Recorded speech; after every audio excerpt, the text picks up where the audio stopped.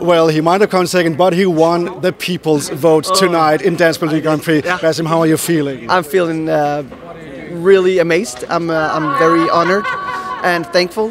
So once again, you know I'm a thankful person. So thank you, Tak Denmark.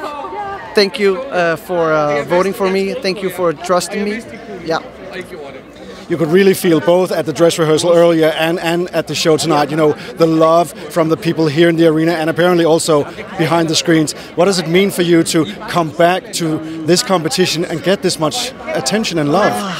You know, the reason why I um, I chose to, to, to be a part of this competition again is because I this time I really had a story that I wanted to share with the world, and um, yeah, I, I did. Uh, I, uh, I, I I told my story about Johnny, uh, and I uh, I really hope that people will remember the story about Johnny and keep it in their hearts. Um, that's the most important thing for me. Yeah.